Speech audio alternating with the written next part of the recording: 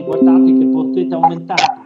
Come possiamo aumentarli? Attraverso quel meccanismo di web marketing, di strategie digitali che ho fatto vedere prima. Quindi collaborando con l'organizzatore assieme ad altri enti, alla DMO, ma anche assieme all'università, si può fare in modo di enfatizzare questa presenza di stranieri, che è importante, ma secondo me aumentabile. Come hanno fatto a sapere, questa è la ricerca del 2018, in gran parte sul passaparola, oggi non abbiamo tempo di presentare anche quella, dalla ricerca che abbiamo fatto invece nel 2021 sulla Gran Fondo Squali di Cattolica, il 60% veniva da Facebook e da social media, per cui lo spostamento della, dell'analisi della domanda, della proposta marketing della domanda, tutto fatto verso strategie digitali. La maggior parte di coloro che partecipano sono dipendenti, ma ci sono anche artigiani, molti liberi professionisti e eh, altre categorie, medici, però vedete come questa è la distribuzione, lavoratore autonomo, imprenditore, commerciante, la distribuzione dei partecipanti. Dove hanno pernottato? soprattutto a Cesenatico, per cui chiaramente l'associazione degli albergatori di Cesenatico, vedendo il dato certo matematico, dice ma allora noi investiamo se la maggior parte della gente ha dormito qui, quante notti ha dormito? Una media del 2,78, hanno dormito mediamente tre notti per una gara che si svolge un giorno. L'obiettivo è stato quello di andare ad allungare e adesso nella ricerca che stiamo facendo adesso e stiamo raccogliendo i dati proprio in questi giorni eh, vorremmo dimostrare che attraverso una serie di iniziative si può aumentare anche il numero delle notti. Hanno dormito nella quasi totalità in albergo, il 44% a mezza pensione e il 44% a pensione completa. E uno dice ma come mai pensione completa? A pensione completa perché la maggior parte di queste persone è venuta con la famiglia 24%, 43% con amici, 10% in coppia, 14% enti sportivi, da solo un esiguo 7,28%. Ripeto, una volta che tu lo dici come sentito dire una cosa, se lo certifichi con un questionario certo, universitario o di altro ente scientifico, ti dà un aiuto e un supporto nella ricerca di fondi importantissimo. Qui la suddivisione con amici o con famiglia divisa tra escursionisti e turisti, chiaramente i turisti vengono soprattutto con amici e famiglia, mentre chiaramente l'escursionista, lo vediamo qui, tende a venire da solo. Questo è un risultato diciamo più atteso, mentre gli altri che abbiamo evidenziato prima sono veramente molto interessanti. Questa è una bellissima domanda. Quanti che sono venuti a Cesenatico per la Nove Colli pensano di ritornare? L'89,76% dice sì, un 1,85% dice no e un 8,39% dice non so. Ma il 90% che dice sì vuol dire che l'evento Nove Colli, che già di suo porta circa 21 milioni di euro, in realtà diventa il driver marketing per attrarre nuovi turisti in un secondo momento. Vado veloce perché il tempo vedo che è molto stretto e, e questo suddiviso tra turisti, eh, escursionisti e residenti, ma la risposta è tendenzialmente omogenea. E qui cominciamo a vedere la stima dell'impatto economico, suddivisa tra gli escursionisti, i residenti e la maggior parte che sono turisti, perché è venuto fuori che il 90% vengono a Cesenatico per fare i turisti, e questo è stato il boom della ricerca. Il dato qual è? Che il contributo medio partendo della, dalla ricaduta diretta è di 8,73 milioni come un contributo diretto per tipologia di utente, soprattutto da parte dei turisti, viene poi applicato la percentuale di indotto per cui il risultato finale è stata una ricaduta economica di 21,27 milioni, con una gran parte che viene chiaramente da coloro che si sono fermati come turisti, una parte viene dagli escursionisti e una parte dai residenti. Questo è stato quello che ci ha permesso di uscire poi sulla Gazzetta dello Sport, il Sole 24 Ore con questa ricerca e da lì è partita un pochettino tutta l'avventura, chiamiamolo così, del prodotto Sport District in Romagna, del prodotto cicloturismo in Romagna e di tutto quel progetto del quale abbiamo parlato in, in, questi due giorni. Questo poi visto anche tramite Google Trends, ma l'avevamo già visto anche ieri, la, eh, la visibilità della ricerca Nove Colli e la visibilità della ricerca Hotel a, a Cesenatico. E questi è la provenienza di turisti stranieri, dalla Germania 423, dalla Svizzera 277, quindi questa una presenza addirittura anche dal Brasile, dal Canada e dagli Stati Uniti. Questo è il motivo per il quale Nove Colli, anche cercandolo sopra il Google Trends, dà la possibilità di essere visibile anche a livello eh, internazionale. In queste ultime slide, ma non so, magari non so neanche se è il caso di, di presentare, ho fatto un'ipotesi di distretto di turismo sportivo anche a livello nazionale che non fa altro che andare a riprendere questa tipologia di modello fatto a livello locale, ma l'abbiamo già accennato anche in varie fasi della presentazione di questi due giorni, andarlo a traslare a livello nazionale attraverso la creazione di una pluralità di distretti di turismo sportivo come questi, organizzato in questo modo, con questa misurazione di metriche anche di ricaduta economica, da andare poi a inserire in un panorama di tipo nazionale. Grazie, spero a disposizione le domande, ma soprattutto grazie a voi per, per l'invito. Grazie, grazie Daniela. Grazie Lorenzo.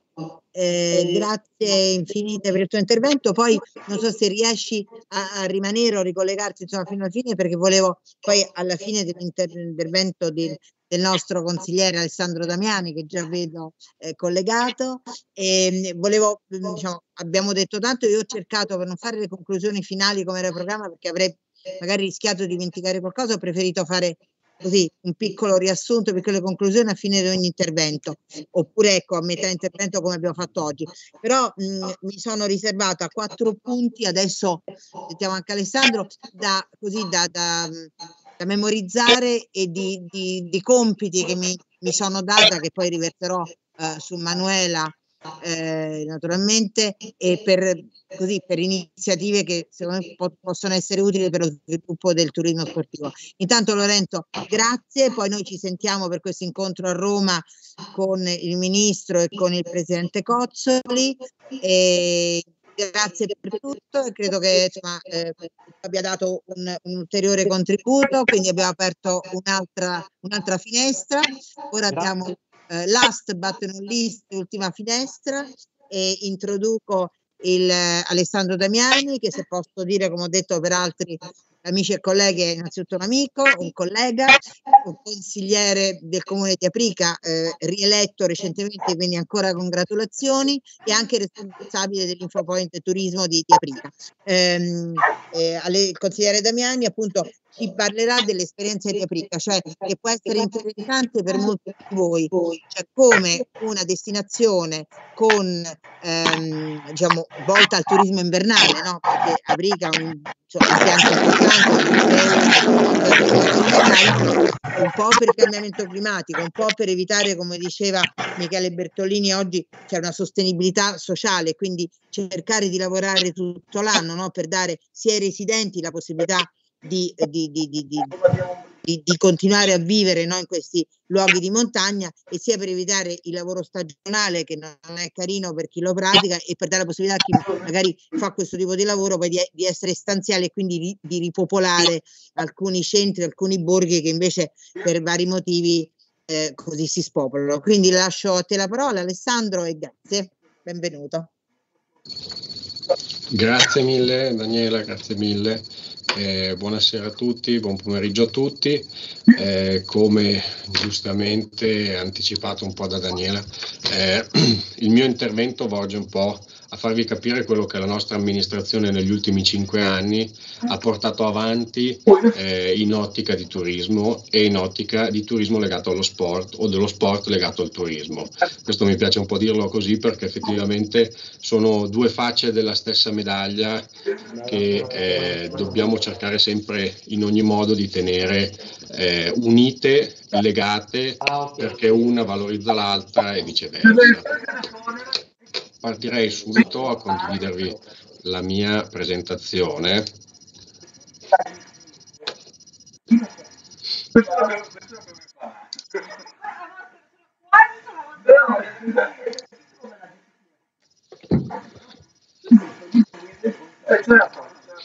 Allora, provo a metterla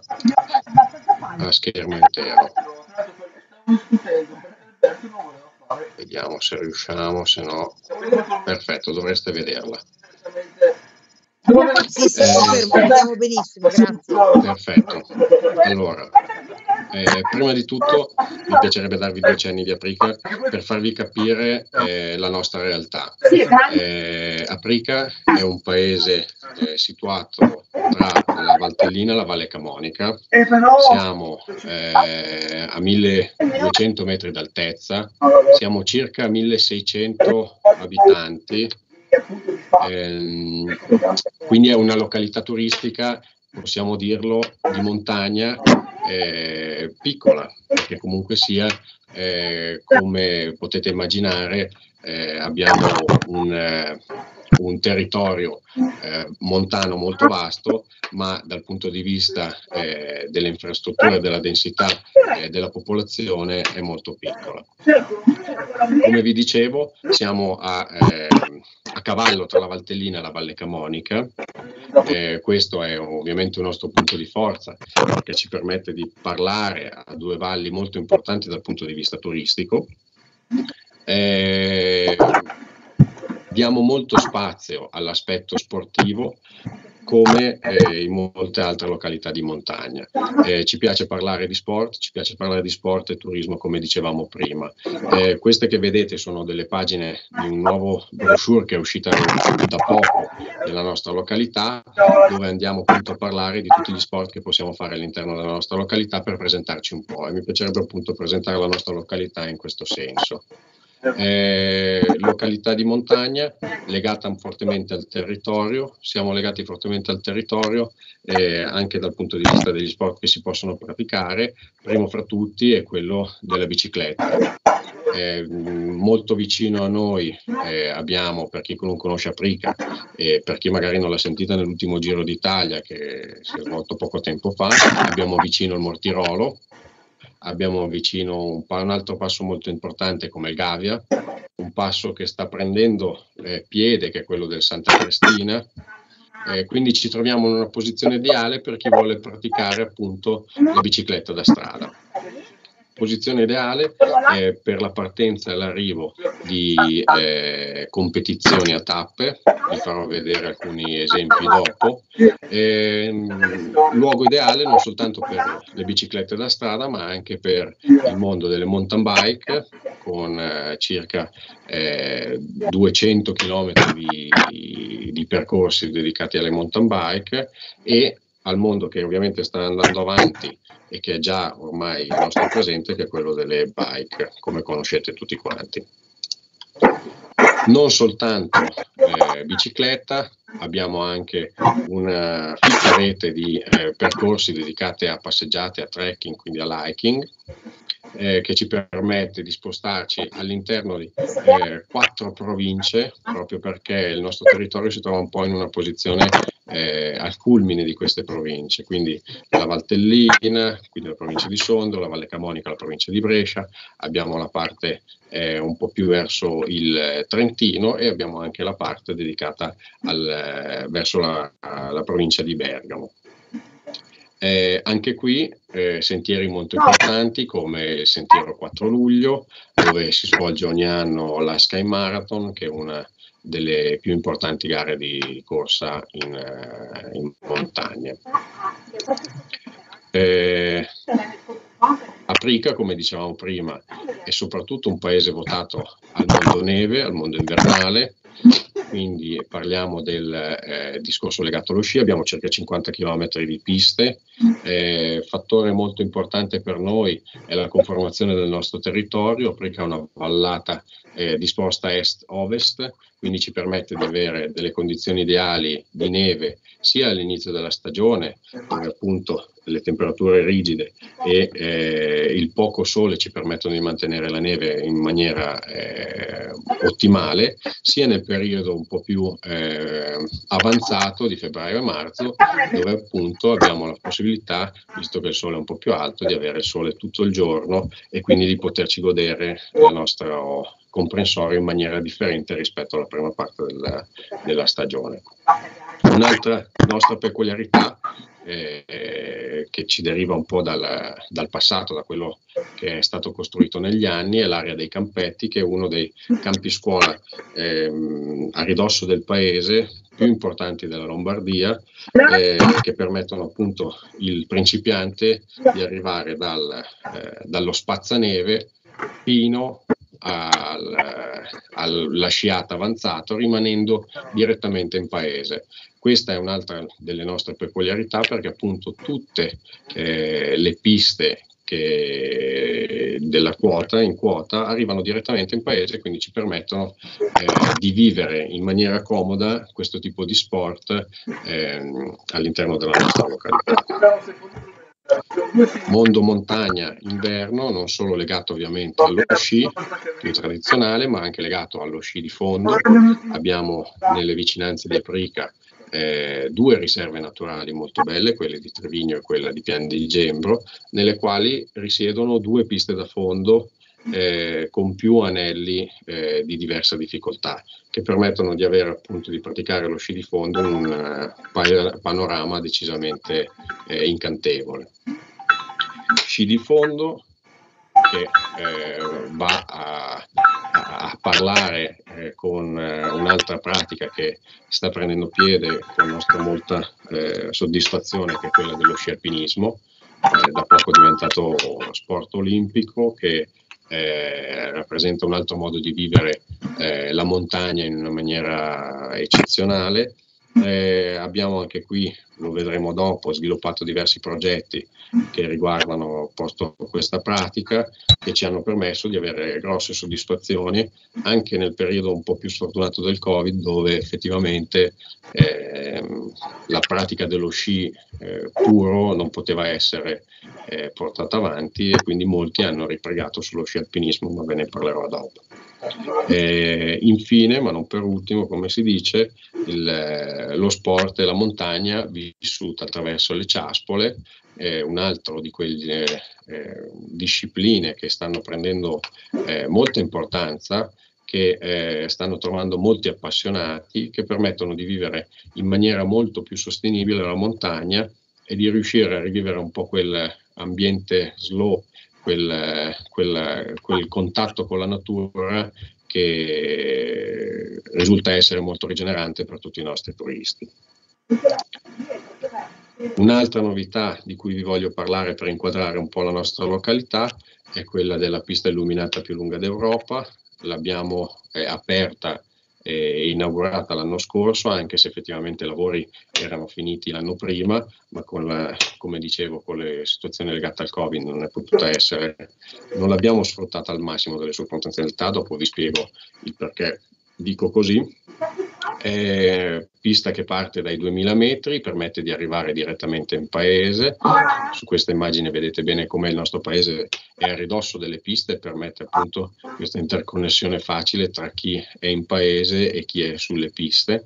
Eh, 6 km e 8 di piste, eh, di pista, scusatemi, illuminata tutta integralmente, ehm, permette una sciata molto semplice perché è tutta una blu e quindi è adatta a tutte le tipologie di sciatori. Ehm, all'interno di questo progetto, eh, come potete vedere dalla foto, abbiamo anche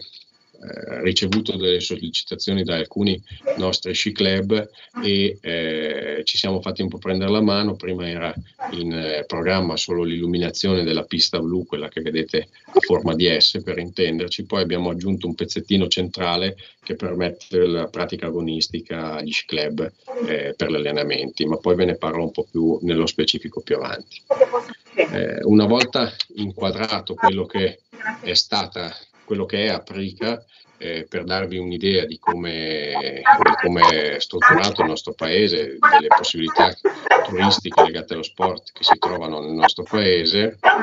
eh, vorrei mostrarvi alcuni dati turistici. Eh, prima di farlo però vorrei mh, mm, precisare alcune cose sui dati. La prima è che quando parlo di Aprica, soprattutto con riferimento ai dati, non parlo solo della località, eh, turistica col nome Aprica, ma anche di quella di Cortenogolgi, che in poche parole è lo stesso paese di Aprica, L'unica differenza è che essendo sul passo noi abbiamo un confine amministrativo che trasforma un unico paese in due paesi distinti e addirittura su due province distinte, quella di Sondra e quella di Brescia, come dicevamo. Quindi i dati che qui vedete comprendono anche quelli di Corteno Golgi, in un rapporto, come potete vedere in alto a in alto sinistra, eh, su eh, Patto 100 il numero di arrivi e il numero di presenze, circa il 70% afferisce eh, proprio al territorio di Priga, mentre il 30% afferisce al territorio di Corteno Golgi.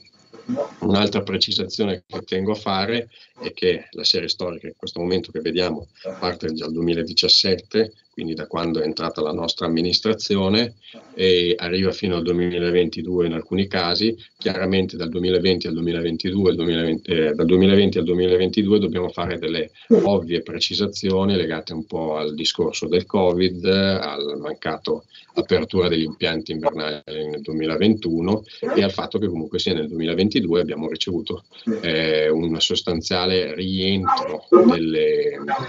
delle, delle presenze turistiche e, e, abbiamo già superato per intenderci i dati del 2021 ovviamente. L'ultima precisazione è che quando parliamo di questi dati eh, la componente italiana straniera è circa 6 a 4, quindi per, ogni, per 6 italiani eh, fatto 100 il numero delle presenze, il 60% sono italiani e il 40% sono stranieri.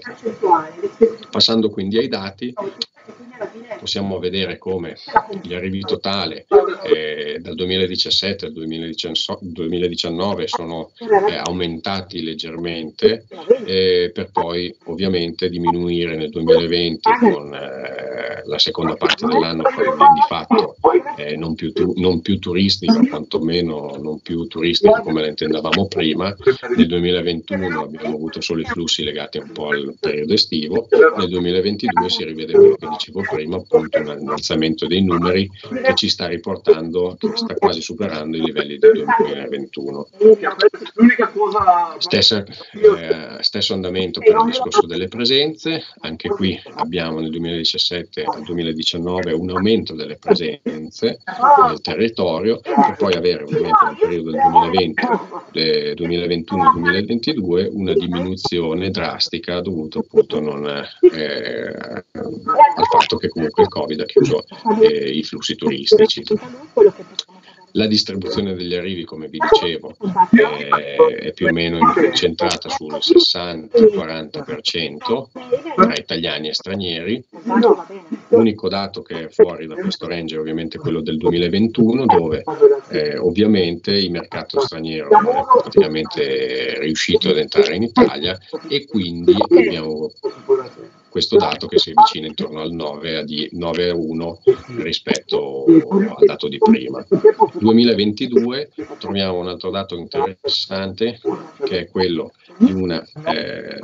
quasi eh, equiparazione tra italiani e stranieri, questo dovuto al fatto che ovviamente i dati che abbiamo in nostro possesso sono solo quelli per il, periodo invernale, periodo invernale nel quale ovviamente la nostra località ha un appeal maggiore rispetto agli stranieri del, del nord Europa e dell'est Europa.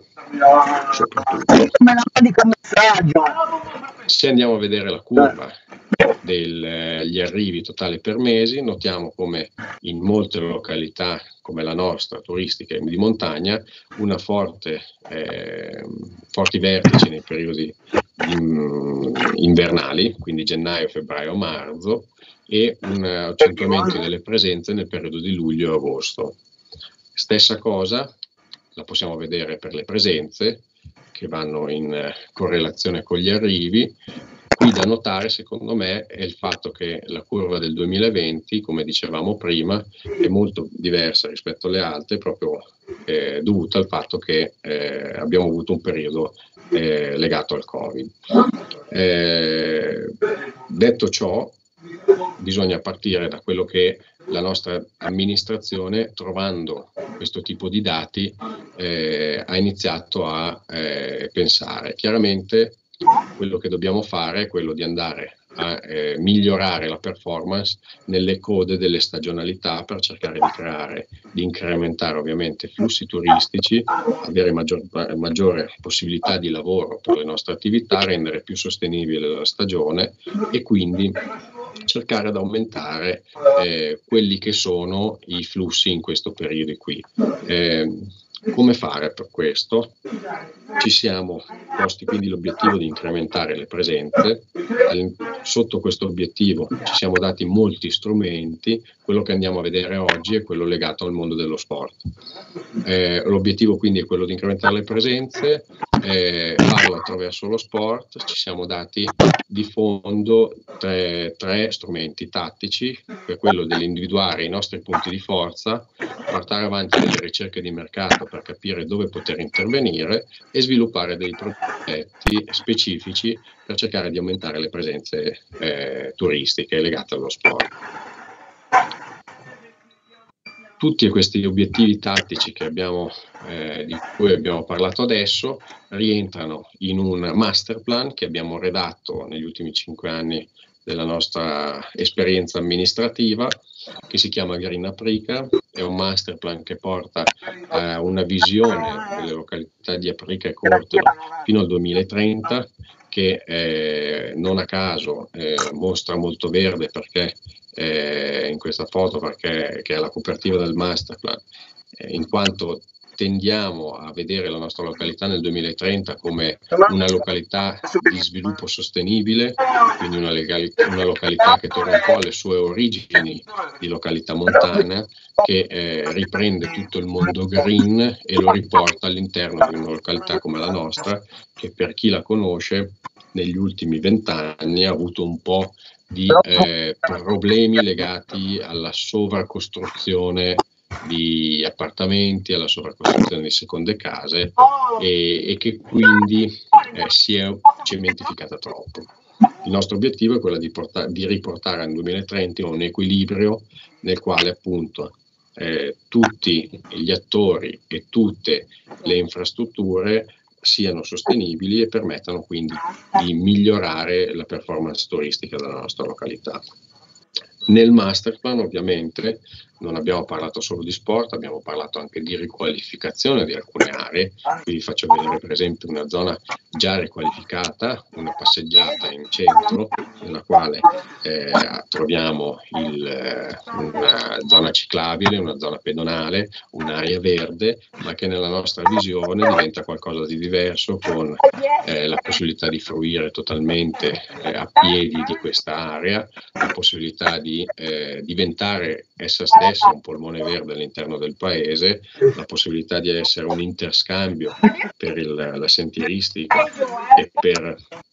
eh, il discorso legato al bike park o al discorso legato al, eh, al, nostro comprensorio sciistico, come potete vedere lì la pensilina che idealmente è quella che porta da lì agli impianti di risalita e, e, che quindi diventa una visione totalmente diversa eh, rispetto a quello che dicevo prima, la visione che in questo momento è nel nostro paese, un paese ipercementificato. Allo stesso modo altre aree vengono eh, riviste in chiave sostenibile, in chiave di eh, scelta di non fare eh, muovere le auto all'interno del paese, ma di lasciarle all'esterno, all'interno di hub eh, specifici dove il nostro turistica può eh, parcheggiare e poi muoversi liberamente all'interno della nostra località che ha un'estensione di circa 3 km e mezzo, quindi muoversi solo a piedi oppure con le biciclette rimanendo, lasciando praticamente la nostra località car free e quindi non avendo più eh, inquinamento acustico per le auto, eh, problemi legati alla sosta, al parcheggio e a quant'altro che in determinati periodi ovviamente risultano eh, problemi eh, comunque sia importanti. Nel master plan ovviamente abbiamo parlato anche del discorso legato agli impianti sportivi, questa vedete a sinistra è la situazione oggi di un hub dell'ambito della Magnolta che è un impianto di arroccamento verso il comprensorio sciistico nel quale ovviamente adesso troviamo una situazione eh, passatemi il termine, molto anni 80 dove grossi parcheggi, eh, queste, queste, strutture molto, molto grandi ma poco inserite all'interno del contesto ambientale. Eh, la nostra visione è quella di trasformare un po' tutto, come dicevamo prima, non avere più il discorso legato alle macchine, ma avere un discorso legato a un eh, miglioramento della viabilità pubblica all'interno del nostro paese, che permetta quindi di vivere la nostra località in maniera agevole a piedi. Eh, in bicicletta e, e, quindi con anche una visione nuova di inserimento delle strutture in un contesto urbano differente e più legato al mondo prima. All'interno del master plan abbiamo identificato nello specifico per poter parlare poi di quello che è la necessità al momento, dobbiamo ovviamente vedere da qui al 2030, ma dobbiamo iniziare a costruirlo fin da subito al 2030, abbiamo trovato delle azioni principali che eh, permettono di sviluppare eh, i progetti dicevamo, di cui dicevamo sopra, quindi quegli obiettivi tattici che eh, ci siamo dati all'inizio. Le azioni sono molto semplici, non abbiamo cercato complicazioni inutili, ma siamo andati molto sul pratico, proprio per cercare di avere il miglior eh, risultato più possibile, anche perché posso dirvi che avete visto, ma posso dirvi che il master plan è decisamente differente, quindi per fare tutto quello dobbiamo iniziare fin da subito a lavorarci. Quindi azioni molto pratiche, che sono quelle della riqualificazione delle infrastrutture esistenti, la creazione di eventi che permettono l'utilizzo di queste infrastrutture e ovviamente un piano di comunicazione che serve in maniera trasversale a comunicare sia le qualificazioni sia gli eventi stessi, ma anche per comunicare con gli operatori. Potete vedere alcune foto di quello che abbiamo già fatto, eh, per esempio un altro al centro della conferenza stampa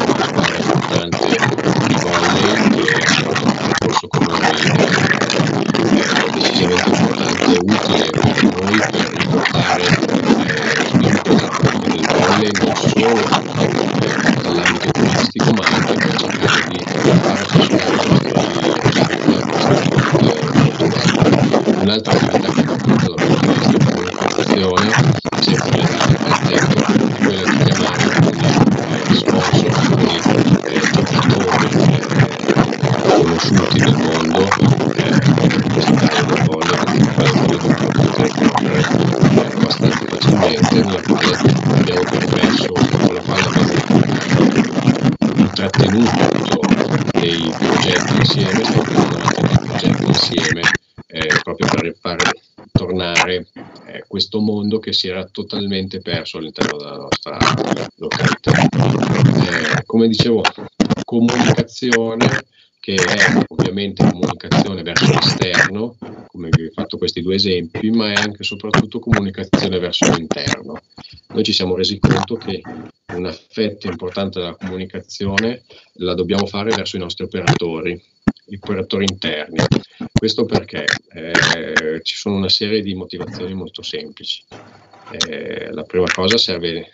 permettere alla comunità di essere partecipe in un progetto di sviluppo che l'amministrazione vede eh, perché deve per forza l'amministrazione cercare di puntare a eh, una visione di medio-lungo periodo, ma che ovviamente i nostri operatori non hanno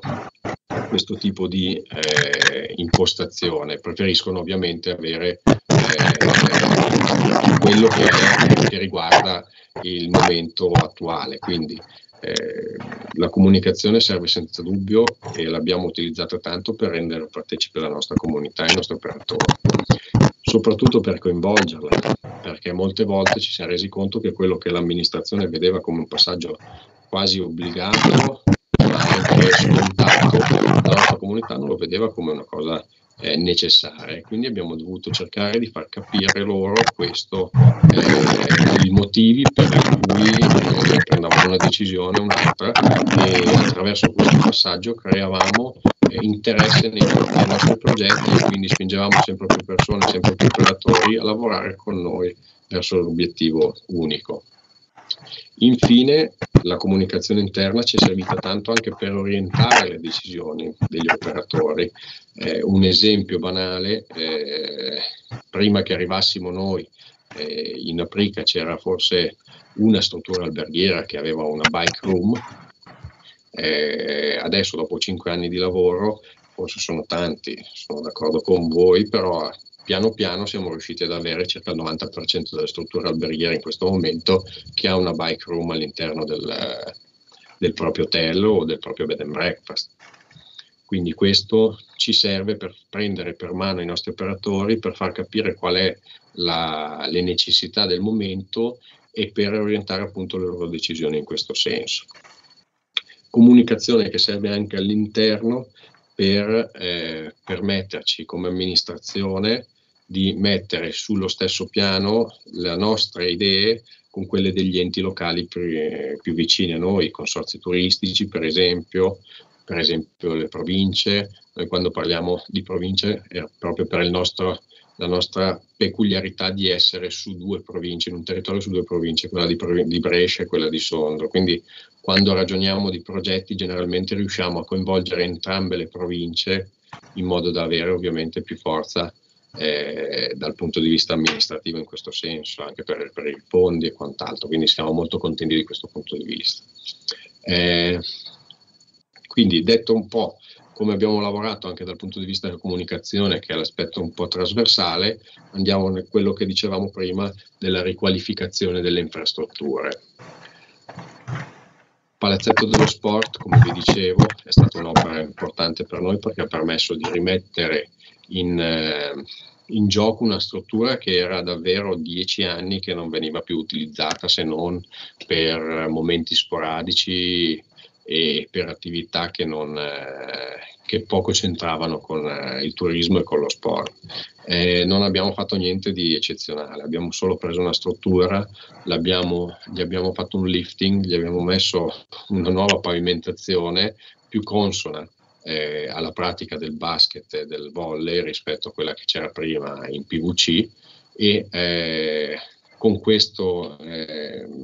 con, questa miglioria eh, abbiamo veramente riattivato una struttura comunale che era completamente eh, inutilizzata. Struttura comunale che purtroppo eh, era preesistente, dico purtroppo perché è, uno, è, una storia un po' strana quella del nostro palazzetto, è costruita sopra la nostra piscina, quindi eh, quando è stata costruita le dimensioni non potevano essere eh, modificate, quindi abbiamo un campo che è regolamentare solo per il discorso del volley, proprio perché le distanze tra muro e muro non permettono un, eh, di rendere per esempio di avere un campo da basket regolamentare, però al di là di questo la nuova pavimentazione ci ha permesso comunque sia di riutilizzarlo in ambito sportivo e soprattutto in ambito turistico, poi vi spiegherò come. È una struttura molto importante questa qui, eh, nel 98 e nel 2000 abbiamo avuto, come potete vedere dalle foto, eh, due eventi grossi di eh, arrampicata sportiva indoor, eh, abbiamo avuto un campionato italiano e abbiamo avuto anche gli internazionali, eh, andati molto bene, però come vi dicevo, da quegli anni lì la struttura è sempre andata in decadenza, fino agli ultimi cinque anni dove siamo riusciti a farla ripartire riqualificazione delle strutture che riguarda anche aree dismesse all'interno del nostro paese. Eh, come potete vedere in alto a sinistra, questo era un campo in cemento dove eh, veniva praticato un po' di tennis, un po' di eh, basket, ma era comunque sia eh, mal manutenuto e quindi eh, l'utilizzo era praticamente uguale a zero era un'area molto bella questa qui, molto centrale all'interno del nostro paese e, e quindi è un peccato avere un'area così brutta a ridosso delle case nel nostro paese, in un'area centrale. Eh, con poco, perché bisogna dire la verità, abbiamo messo mano all'area, abbiamo anche qui ripavimentato tutto, abbiamo fornito nuove infrastrutture sportive, abbiamo cercato di rimettere in gioco quest'area che eh, è passata da essere un eh, punto di degrado a un punto di attività e, e un punto di, eh, come si dice, di aggregazione dei ragazzi. Eh, qui sotto vedete una foto di un camp dove eh, appunto hanno utilizzato questa struttura esterna, ma vi garantisco che al di là di eventi come i camp, il campo viene utilizzato quotidianamente da eh, turisti e la cosa bella anche da molti aprechesi, da molte ragazze aprechesi che prima non conoscevano neanche cosa fosse il basket e che si sono avvicinate anche qui a questo tipo di gioco, a questo sport attraverso la riqualificazione di quest'area qui. Riqualificazione delle infrastrutture che come nel caso precedente permette di eh, portare migliorie e di eh, Scusami gestire... Alessandro, Alessandro c'è qui in presenza Paolo che tra l'altro è un eh, uno studente masterizzando, cioè sta finendo il master in turismo sportivo qui alla, all'Università Fuori Italico che vorrebbe farti una domanda. Prego, di Magari anche dopo quando concludi il... No, magari adesso che stavo dicendo... Eh, Volevo sapere appunto eh, se appunto un ragazzo come me vorrebbe chiedere la riqualificazione anche di un quartiere, qual è l'iter che bisogna fare? Cioè, nel senso, a chi bisogna rivolgersi? Per un parco in un quartiere? Per un parco, per la riqualifica proprio. Grazie. Allora, eh, in questo, quello che hai visto fino adesso è stata eh, una volontà dell'amministrazione. Eh, qui è stato abbastanza semplice perché eh, l'amministrazione ha proprio eh, visto quest'area, questa zona di degrado e ha voluto fortemente la riqualificazione. È chiaro che probabilmente un passaggio al contrario, che dovrebbe essere forse eh, l'iter adeguato, perché io dico sempre che l'amministrazione riesce a fare il suo, eh, come si dice, il suo lavoro di amministrazione, ma i cittadini sono quelli che poi vivono le aree, sono poi le persone che eh, devono tenere a cuore la propria città o il proprio quartiere, quindi è, è correttissimo lo stimolo da parte del, del cittadino, eh, anche in senso di critica lasciatemelo dire. Però secondo me l'iter adeguato dovrebbe essere appunto quello di coinvolgere il prima possibile, il miglior modo possibile l'amministrazione. Eh, non so che realtà è, se è una realtà molto grande o molto piccola. La così Alessandro è il territorio diviso in cinque sezioni e quindi probabilmente io stavo, sono amministratore ma tu puoi, puoi confermare che io dicevo lui leader magari con un comitato di quartiere con qualche esatto. diciamo, realtà eh, esatto. locale cioè che istituiscono esatto. un'associazione sportiva eccetera andare in associazione presentare un progetto magari lo riqualifichi ma ovviamente il capo da basso Paolo e anche un allenatore di atletica quindi se magari io posso dedicare due ore al giorno così tre volte a settimana per allenare i bambini alla corsa o posso fare un'altra cosa. Quindi magari con un progetto secondo te questo serve per andare in circoscrizione esatto. e cercare la riqualificazione. Forse magari così è, sentendo anche gli interventi recenti, magari vedere se c'è anche magari qualche sponsor che possa, non magari in denaro, ma magari con, non so, scarpini, video, non so, qualcosa magari aiutarvi, no? vedere qualcosa, qualche magari ambito dell'atletica, dell'attrezzatura sportiva, un decathlon, adesso dico no, per, per. E poi appunto vi dicevo che c'è Sport Salute che periodicamente fa bagno, però lui mi diceva che sono rivolti più alla, ehm, alle pubbliche amministrazioni. Tommaso, tu puoi dare pure Tommaso che è Sport Salute, puoi dare una, una risposta perché dice che c'è questo parco molto bello che è un peccato che è la zona di Roma credo a Talenti, vero? Porta di Roma, quindi c'è un peccato perché c'è un punto di, di, di sport nei parchi. Quindi voi di sport e salute può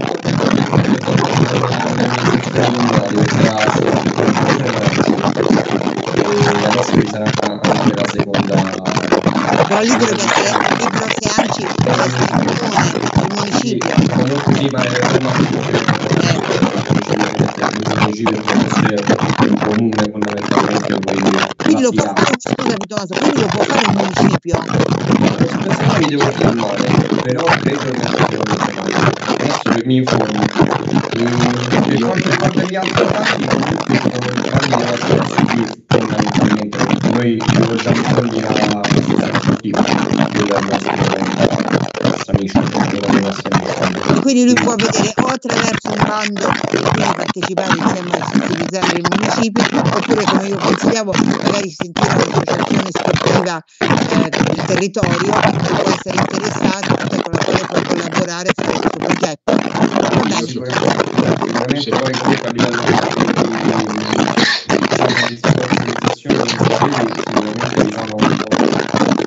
degli, sul livello territoriale piuttosto che sul livello sul diciamo di sovranità quindi sicuramente si trova si trova terreno aperto su questo e i municipi posso dire dalla mia esperienza che ho lavorato sul territorio regione Lazio, il Roma il trasporto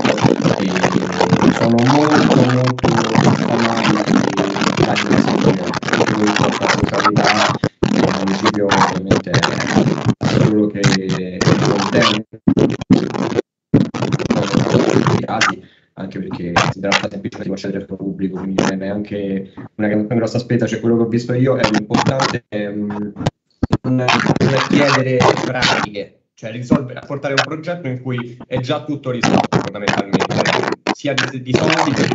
contenuti e quindi non creare chiedere troppo il progetto quando tutto con le persone.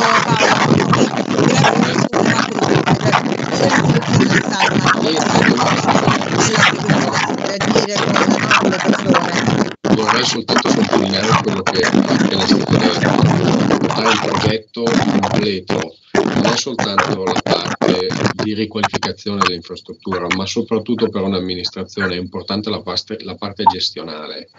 È importante capire che il parco o il campo eh, riqualificato e eh, dove vengono appunto spesi soldi pubblici non viene poi dopo, non si trasforma poi nel giro di 5 anni, 10 anni di nuovo in un'area eh, desolata, eh, ma che appunto ci sia anche un progetto gestionale la socialità eh, nella cittadina, nel comunque sia può coinvolgere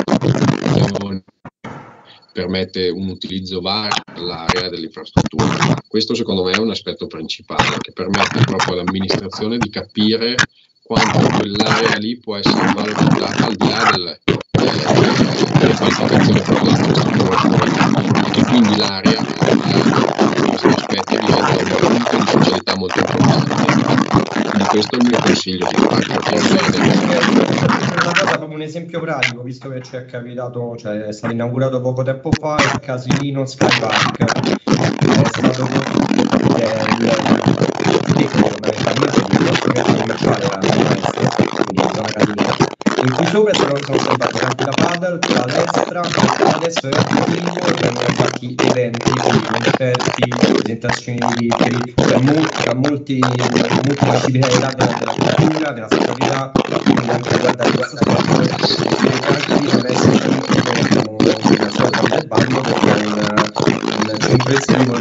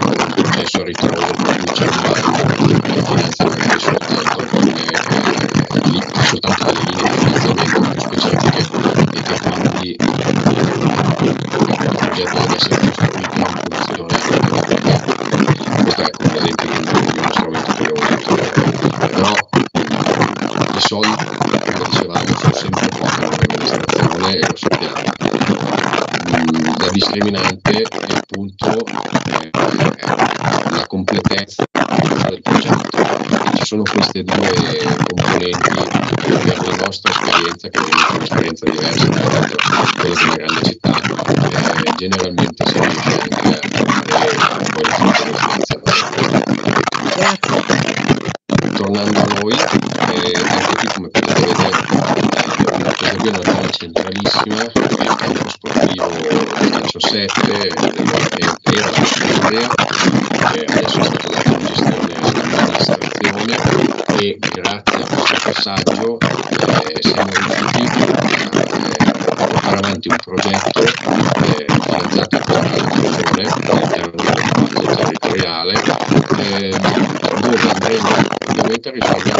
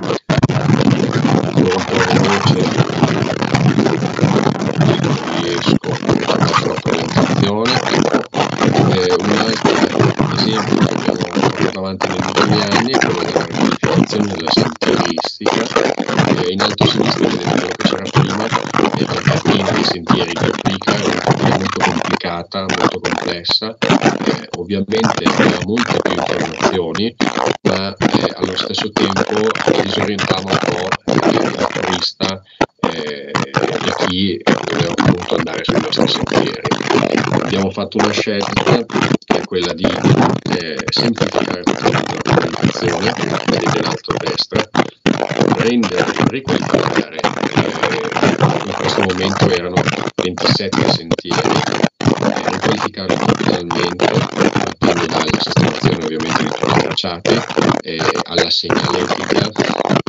al, eh, alle informazioni che venivano date in maniera totalmente diversa, alle eh, attrezzature che venivano sul sentiero, quindi eh, una panchina piuttosto che il tavolo tecnico, piuttosto che un'area eh, dedicata ai selfie e cose qui per vedere eh, alcuni passaggi particolari, alcuni programmi eh, eccellenti dove fermarsi e rimanere liberamente nella natura. e questo è stato un progetto, come dicevamo, di compressore tra le nostre due località, perché Conchio ci ha permesso appunto di ridare lancio al nostro patrimonio sentieristico. È successo, si è passato anche delle situazioni dove la segnaletica era una segnaletica eh, convenzionale, comprensibile, soprattutto chi è abituato ad andare in montagna, siamo passati da una situazione molto semplice, molto normale, nel quale ognuno riusciva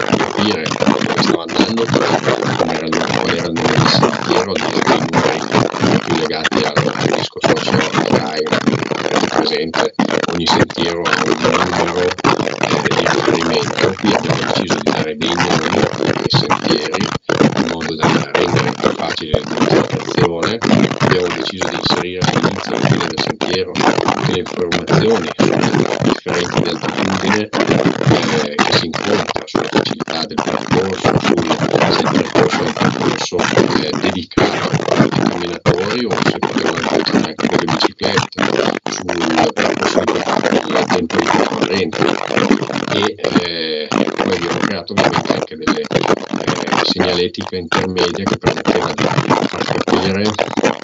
chi era all'interno del percorso, eh, se rimaneva all'interno del percorso, quanto mancava eh, o quanto, eh, quanto tempo si era lasciato alle spalle. Eh, all'interno di questa riqualificazione dei sentieri, di questa nuova segnaletica,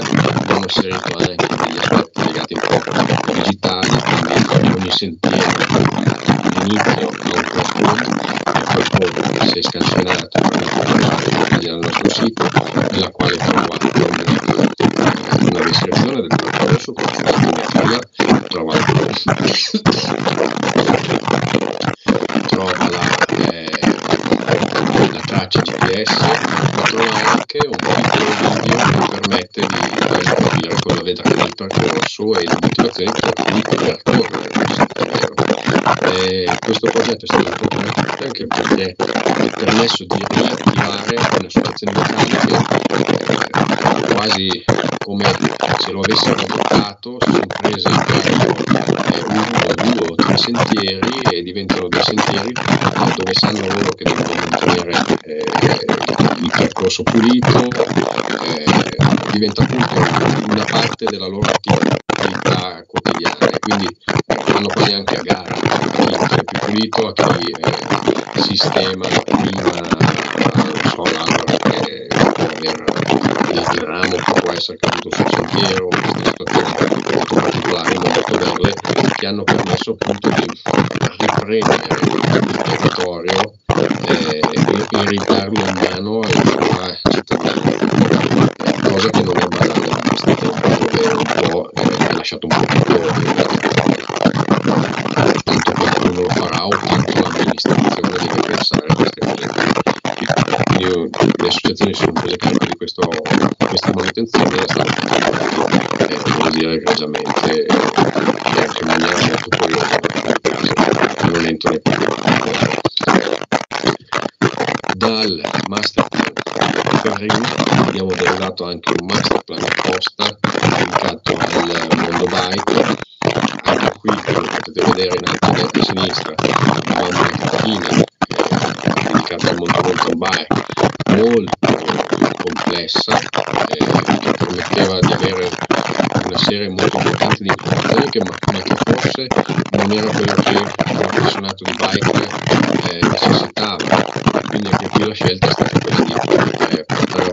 avanti un master plan eh, individuare i percorsi migliori eh, quelli subito fruibili, andare a riqualificare quelli che erano eh, da riqualificare, che si potevano riqualificare nell'immediato, andare a costruire una mappa diversa, semplice, che riparte eh, senza l'occhio quella di prima dei, dei parametri della natura e eh, all'interno di questo processo andare avanti a serie di un, uno, due sentieri che abbiamo e andiamo a sistemarli e inserirli all'interno del nostro park e, e all'interno del nostro marchio. Questo ci serve per ovviamente razionalizzare un po' le risorse che sono infinite, come dicevamo prima, ma andare a portare avanti comunque sia un, eh, un patrimonio che abbiamo di percorsi e di sentieri dedicati alle biciclette e fruibili in maniera eccezionale da, da, dalle nostri turisti. Quindi eh, percorso a step che permette appunto di portare avanti un progetto di medio-lungo periodo e di non abbandonarlo per paura di non avere risorse adeguate. Tutto il master plan per darvi un'idea, per sistemare eh, i percorsi che erano stati individuati eh, contava più di un milione e mezzo di euro. Se ci fossimo fermati a questa cifra qui probabilmente non saremmo partiti e non, saremmo riusciti a riqualificare niente. In questo momento stiamo andando avanti e